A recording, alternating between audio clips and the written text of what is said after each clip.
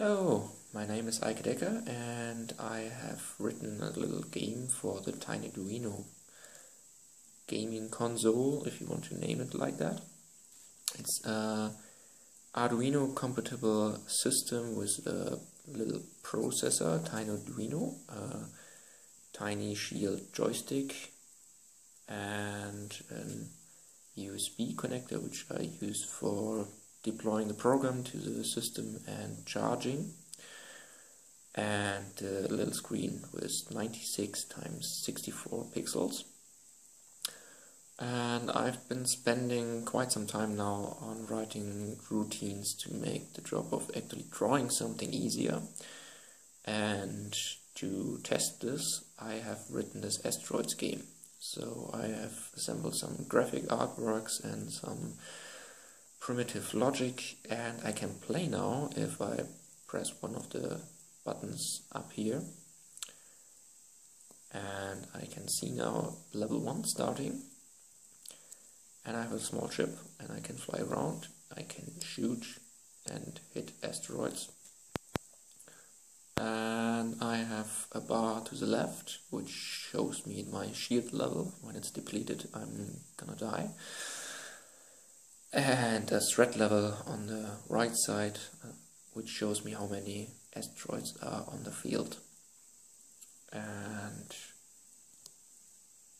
it's the classic game. I shoot asteroids they explode. I take damage from getting hit by asteroids or colliding with asteroids. And when I'm shooting everything away I'm gonna progress to the next level which has more asteroids on the screen. My shield level is never replenished so this should end at some point. point and for each asteroid you shoot you get one point.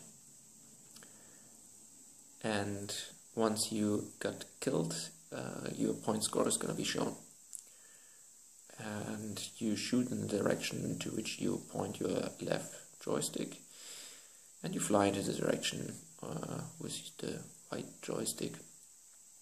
You want to go to and you will only shoot when the direction of movement is uh, the same as the shooting of direction. Um, unless when you are not moving then you will just uh, turn the ship with the left stick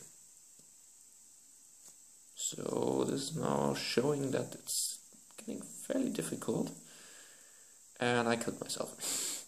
so I got 19 points. If you have such a system and you are ready to try this out, I will upload the current state to uh, CodeBender, which is this uh, very convenient way to deploy something. Otherwise, I also have a GitHub account where I have um, a branch with, tests and a branch with the asteroids game for um, making a system for myself to make games such as this uh, with less amount of time.